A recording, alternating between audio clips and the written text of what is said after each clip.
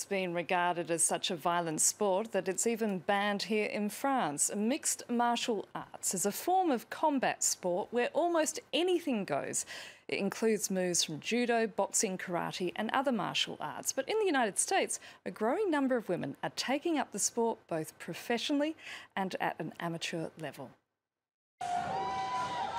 Women's mixed martial arts is fighting fit and raring to go. Increasingly large crowds are drawn to these fights in the United States, a sport on the rise. I don't see it as just a man's sport. Martial arts, you know, is for everyone.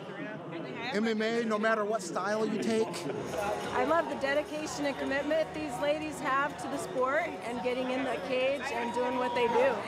MMA is deemed so violent that it's banned in several countries, including France. In the US, the Ultimate Fighting Championship began in 1993, but it took nine years for the creation of a women's division. America now counts several hundred professional female fighters. I just see myself as a normal person, so having people come up and want to have photos and, and stuff like that, it's, it's kind of cool. Like, I'm still not used to it yet, but I, I love how the fans get behind us girls.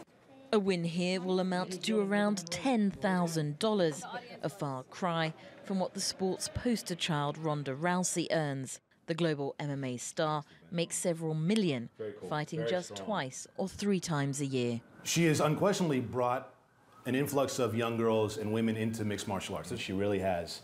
Uh, spoken to women of all ages, and she's talked a lot about uh, empowerment issues and feminism and her ideas on those things. The rise in popularity of the sport is spilling over into gyms across the US. It's, it's been a, a, phenomenal change in how many women we've seen involved and, and progress wanting to learn the technique as much as using the conditioning because it's a lot of fun and it's a lot more fun than just being on a treadmill. And now we get to learn some valuable skills as well. Here in California, the number of women joining classes has increased threefold in the past two years. This training centre will soon start a women's only course to meet the growing demand.